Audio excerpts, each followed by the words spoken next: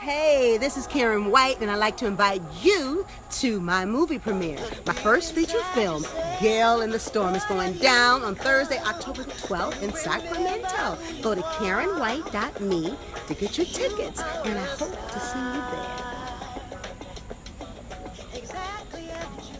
there.